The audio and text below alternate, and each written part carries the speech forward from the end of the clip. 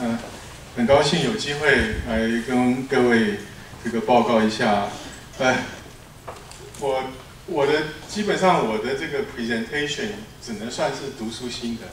哦，那有一些是我过去很久以前做的事情，我稍微报告一下。那跟刚刚林老师精彩的研究是不能不能这个相提并论。啊，那那我今天想要谈的问题啊，就是这个当然。这边 LHS 是 Learning Healthcare System 啊，那跟它就会它会有一些这个伦理上的议题。那过去，我都常常提出议题，可是呃都不大谈说，都说啊这个有这个问题，那个有那个问题，可是很少去说，那我们有没有办法另另外用一些资讯技术或者其他的方法来帮助减缓、减低或者是呃解决一些问题？那我今天觉得应该要做一个比较正面的人，所以就来报告一下。我认为说不定有些事情是可以帮得上忙。那呃，难免就是要谈一下这个 big data，很快的带过去。那重点那四个 B 大家都看过了。那这个时代实际上是啊，现在大概有三件三个东西的发展，一个是资料量，资料的这个 availability 增加；第二个是这个演算法的这个进步。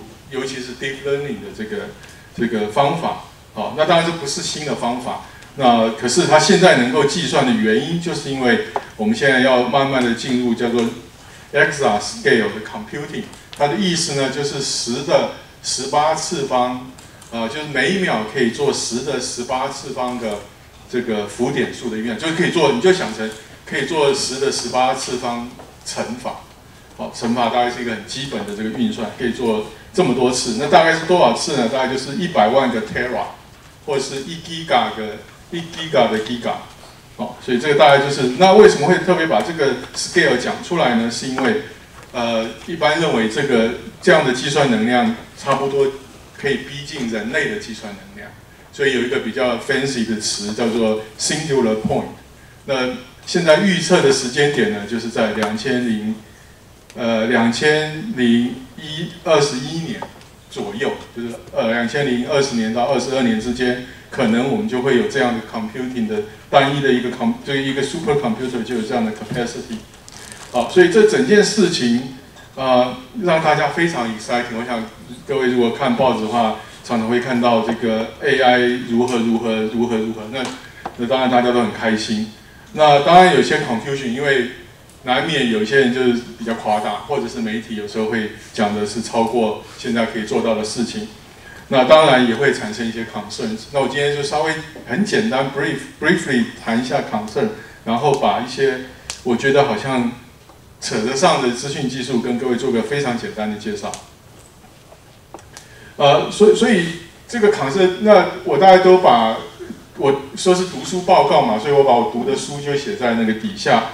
呃，当然也有很大的几率，有些我读错了。不过各位有兴趣就可以去去读，这大概是。所以这些黑色的字就是从那边摘出来的。所以大概有几个，一个是 informed consent、privacy、ownership，然后这 epistemology 跟 objective，这个基本基本上就在谈什么？其实这个问题就是说，big data 产生的那些结果，那些 machine learning 的结果，从知识论的角度，怎么样确认它是真的是 valid？然后因为这个很重要，是因为这些产生出来的 knowledge 会用来做 decision，这些 decision 对对那个 data 的，就对于这个这个被做决策的人、被做决定的人可能会产生影响。哦，那 big data divide 的意思就是说，呃，有些人有，有些人没有。那这边红色的部分就是我觉得好像也不是不见得是 IT 啊，就我觉得好像我学过的东西里面可以帮得上点忙的。所以我等下会稍微介绍，那因为时间的关系，我可能就是稍微介绍一下每一个这个技术或者是做的事情，好，那跟各位分享。那这 slides，所以我不会把整个 slides 讲完。那有些如果你有兴趣的话，你就可以自己去去看一下。那这个是我稍微介绍一下这篇 paper，这篇 paper 很有意思，就是在两千零一十四年的时候，呃，有这个学者决定去了解一下这个 big data 的 ethical concern 在。这个 literature 里面大概是什么样子？所以呢，他就去 search 了很多的 literature，然后呢，用人力去 identify 这个有没有提到跟跟大量巨量资料研究相关的伦理议题，啊，就是把它句子都摘出来，所以他就摘出了很多个句子，然后呢，他用他接下来呢，就是把这些句子去分群，所以它不是分类，它是分群。分群的意思呢，就是其实我只是把觉得相似的东西把它丢在一起，就他分一分分一分以后呢，然后他再去把每一个群给它一个名称。所以刚刚讲的 privacy 啊，informed consent 呢，它很明很明显的呢，是是一个是会变成一个类别。所以它一开始没有类别，后来就呃分好了之后去给了它一些类别。那这些呢是把它这个有意思的是，这个就是他认为未未来可能要好好想一想。尤其在一个社会里面，可能要要要有要有一些 debate 或者要一些讨论的事情，那这个我就不细说了。呃，原因是因为其实我也讲不大清楚。那所以我就直接跳到所谓的 informed consent 啊，in informed consent 我觉得主要就是一个尊重，最最核心就是尊重啊，就是讲简单一点，就是你要用我的东西，好歹跟我讲一声，看看问我一声，看我同不同意，大概是这个意思。好。那当然，这这个这个程序里面，应希望能够增加互信，那提升透明度。也就是说，这些事情是你要做研究，你不要躲在实验室里面那个偷偷的做，而是你用你你需要这个对某些有影响，他是知道你要做这个实验。哦，那过去现在的 IRB 大部分审的案子，大部分都是就是有一个单一的研究，那它有一个 hypothesis，它要去 collect data。去 verify，就 validate，或者应该是去 refute 它的 hypothesis。因为科学上实际上是去 refute 它的 hypothesis。那如果你没有办法 refute，你说啊，那它的这个它的这个我们对它的这个 hypothesis 的信心又增加。啊，所以这个那个过去的情境大部分都长这个样子，就是说，所以我们在 IRB 审查的时候呢，就会问说啊，那你要 study 什么？你的题目是什么？然后我就看说你的手段有跟这个题目符不符合，可不可以得到 very 比较好的这个研究设计合不合宜，对个人的伤害有没有有没有符合比例等等这些问题。However，在 big data 的时代，这就是我们常常遇到问题，他他基本上不知道就有一大堆 data，其实我根本就还没有 hypothesis，我可能要经过摄取这些 data 去产生我的 hypothesis。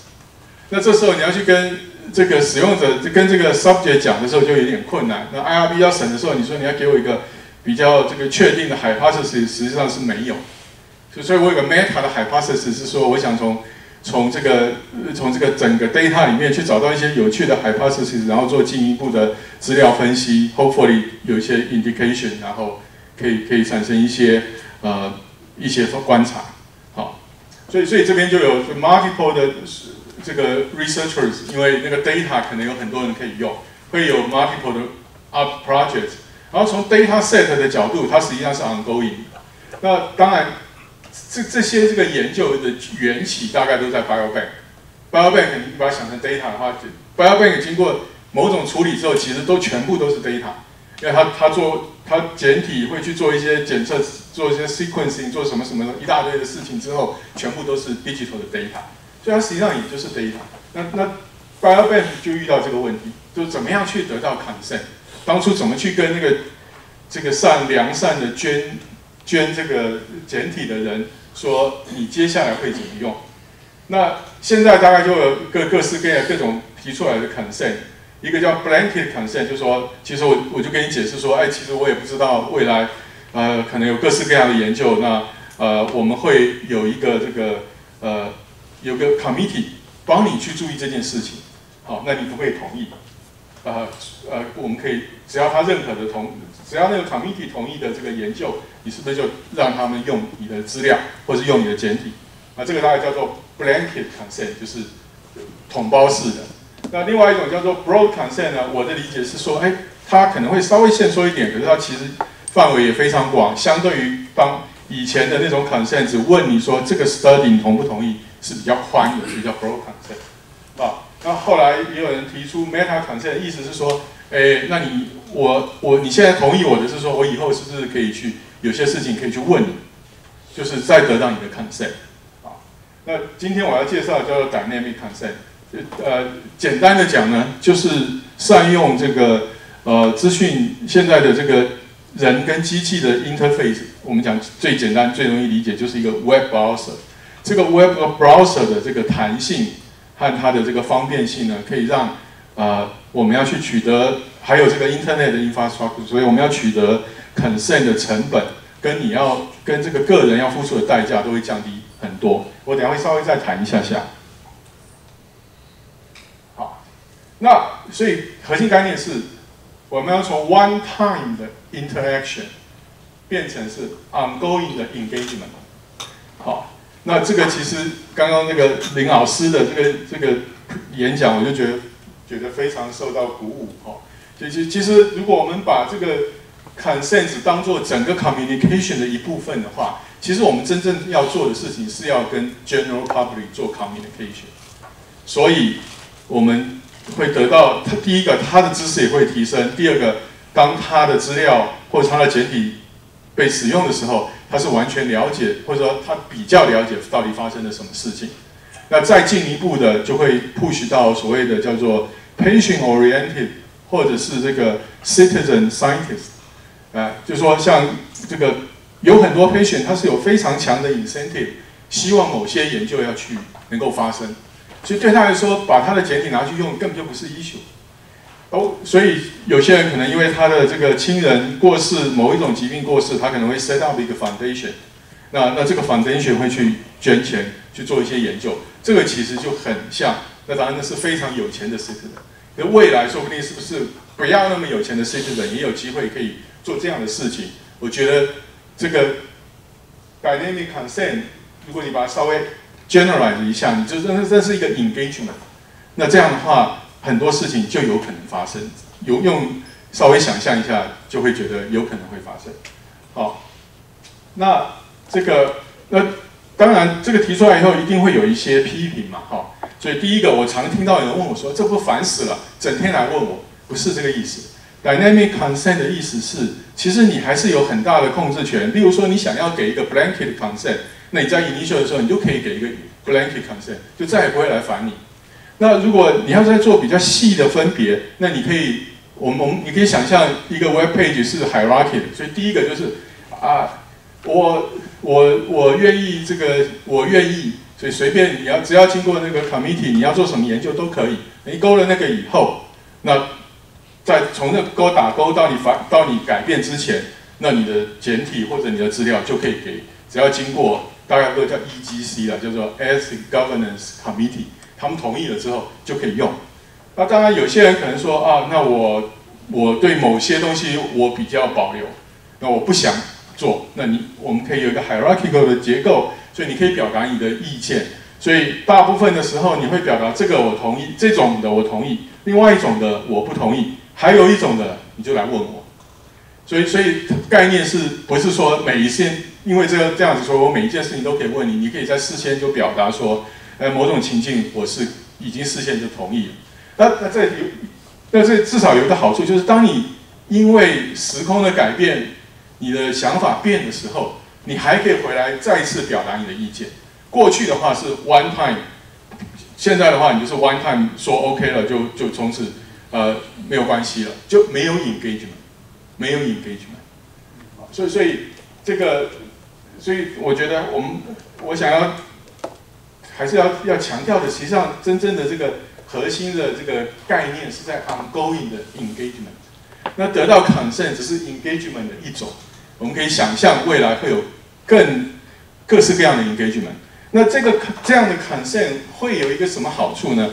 就是呃，在很多的这个文献里面都谈到呃 commercial 跟 research。啊，那这对民众我的我听到的讯息就是分得很清楚。就就是这个态度是不大一样，所以在这里面我们也可以请他回答这个 commercial 的 consent，那他可能会说，呃，就来问我，或者说啊一概不准。那这个未来这种 commercial 的应用就比较有可能，现在其实非常困难。好，那这个这个钟很大，所以确实很有有很大的压力。那那我就进到下一个议题，叫 privacy。那我这边只想讲一个重点，就是 privacy 并不是我有很多的秘密，所以我不想让人家知道这么简单而已。其实核心概念不是这个，核心概念是 control。那那简单的讲呢，就是其实我们对我们的身体有一个要自己控制的权利。那我们大概都会有一个空间，是我们不希望人家进来，甚至于不要 touch 到我身体，我就觉得不舒服。那就是我要对我自己的身体有一些 control。那在这个 Internet 的时代，实际上你在网络上的 data 就 define 了你，所以那些 data 应该你要能够 control。很多 data 有关你的 data，大部分人其实根本就不知道你，他往往都是透过你的 data 去对你有某种程度的了解。所以 in a way，这些 data 应该要让你有 control。好，那然后呢？当然，因为现在有这个巨量资料，所以这些资料有很大的好处。如果要去问你的同意，太贵了，所以就有一种 tendency，就觉得说啊，那就哎，为了公益就可以用。那就为了公益这件事情就很麻烦啊。何老师是专家，所以你们以后可以问他公益到底是什么意思啊？那这个我就没办法帮你回答。那所以我这边想要讲的呢，就是刚在 privacy 就很容易去讲到这个技术的概念叫去识别化。那我要想要强调的是，去识别化跟资资料的可用性，它是两个竞争的关系。去识别化越强，就是能够被识别出来的几率越低，那可以用的机会就那那个资料的含金量就越低。所以不能只问说可不可以去识别化，你得要告诉我啊，你想要的含金量是多少？那现在最大的困难就是到含金量这个呃是去识别化到低到什么程度的时候，我们认为就跟个人无关，这是一个非常困难的问题啊，在学术上根本就没有 solution。所以我这边就想要强调，去识别化作为保护机制是非常好，可是作为司法性的唯一条件，就需要非常谨慎的维持。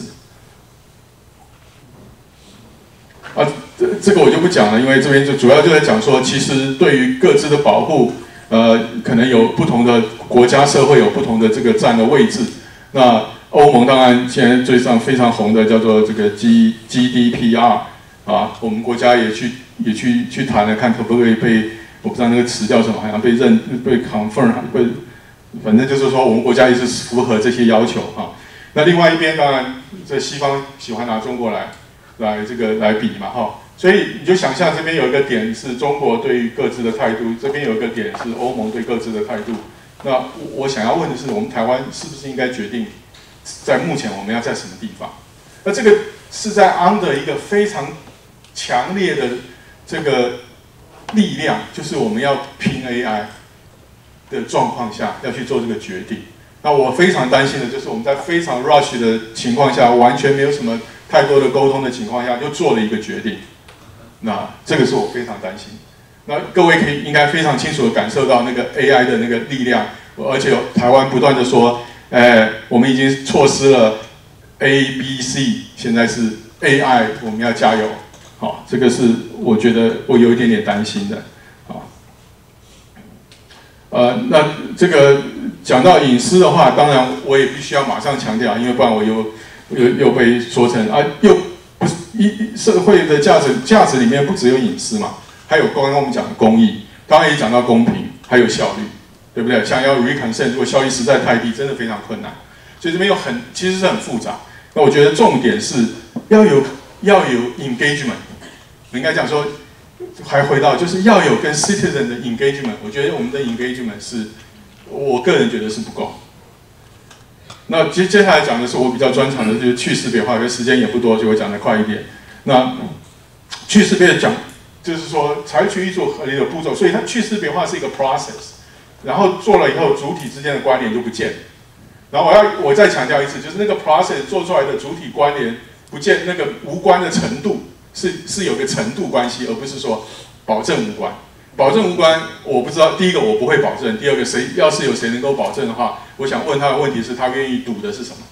他愿意如果赌一百块钱、两百块钱，我觉得 OK。可是他说我把我头跟你赌，那我觉得他投的价值就会很低，因为很风险很大。好，那这话不是我说的，因为这个这个这个呢是呃二零零四二零一四年的时候，美国的科技顾问的一个报告跟奥巴马的报告。他就谈 big data and privacy 的 technological 的 perspective。那我这边要 highlight 的是说，这个这个看起来很容易 implement 哈，可是呢，increasingly easy to defeat，increasingly easy to defeat。原因就是因为越来越多新的方法可以做 re-identification。好，那 re-identification 的这个机这个 re-identification 的这个 technique 跟做资料分析的 technique 基本上是表表就是就是兄弟，非常非常接近。你稍微想一下就知道，我们在做资料分析的时候，其实就是要去找分一些类嘛，去某一些类有些特别的特征。那这个类分得很细的时候，就变成个人。所以那那个那个那个 continuity 是你是可以看得到的。好，所以过未来的这个技术越来越越多的时候，这个风险就越来越高。那另外还有一个是，我们要去做 de-identification。如果有人他有很多 extra 的 information 的时候，他很可能去做 re-identification。好，那这个在在这个文献上有已经有有证明。那意思是什么呢？就是在，例如说，你有一些个资，像在 Facebook 上，如果我真的 follow 你的话，我大概我可以知道很多人今天大概吃了多少卡路里，因为他就一直找一直找，然后看他旁边四个人，然后他看起来是吃的比较多的，哦，那我除以三分之一，我大概就算出来说，那他大概吃了多少卡，好，那所以他有很多 extra 的 information，这样的话很难处理。那因为我已经被已经没时间了，所以那那。稍微广告一下，实际上您有兴趣可以看一下，二零一三年我们就 propose 了一个一个系统可以做 de-identification。然后呢，我要强调的是在这里，然后有有有一个东西，有一些事情我们不会做，我们就把它通通塞到这里，就是说组织应该要去决定，组织应该要去决定很多事情，例如说怎么去识别化程度到什么程度是可以接受的，我怎么知道？我可以给你一个 measurement，mathematically 我 define 了一个 measurement，可是到底什么程度是你可以接受的？I don't know。那这个呢，在这个我就跳过去，然后我就讲去识别化认证在台湾现在有。好，我要强调的是，它是认证过程，而不是去说它认证完以后去识别化的程度就 OK 了，是过程。所以一定要去识别化过程认证。那它的困难点在这里，这个红字，这些这些，就是我刚刚画的那个圈圈。对我们当年就知道自己不会做，全部赖给组织。啊，现在还是一样啊！这些组这些全部都是你组织要去决定的，而不是那个认证帮你说这个 OK。那现在我们刚刚讲到问题，不能当做这个司法性唯一的这个要谨慎的原因，就是因为谁来决定？谁来决定这些？如果我们国家要决定什么样是什么样的程度就不是鸽子的时候，就要有一个组织来决定啊，是谁？要把它叫出来，我们来好好讨论。所以现在不知道。好，那这个我我今天。后面的我想，我中文还可以。如果您看了觉得有问题，随时来指指教。那这个这一这一章我讲一下下，这个是我我们觉得很好玩的地方。就是说，这个资料哈，资料科学的人觉得资料越多越好。可是，在医学上哈，资料是有成本，尤其是你多抽一管血，其实就那个人就得多给你抽一管血。所以那个是很有趣的一个一个关系，就是。我们在谈资料科学的时候，资料说哎越多越好啊，我就可以分析啦。可是，在在那个医疗的实物上面，多一个资料都是有大部分都要就要那个 subject 付出代价。所以这边其实是一个很严严严严重的问题，或者一个很有趣的研究的问题。那我们发现呢，这个是就是说资料整合的困难。可是我们觉得，当你资料整合困难的时候，实际上正好提供了你三个不同的 experiment 去问说什么样的资料就 suffice 就够了，不要再再多。好，这个这这这是我这是我们自己这个提出来，当然还没有任何的这个 publication，所以就是跟各位分享一下我小小的心得。好，那我认为这整件事情是审慎乐观，只要我们够审慎，未来应该是乐观的。好，那。那有有关那个知识论的，我实在是没时间解解释。可是我觉得那边是非常非常重要的议题，也非常希望大家能够一起关心。谢谢。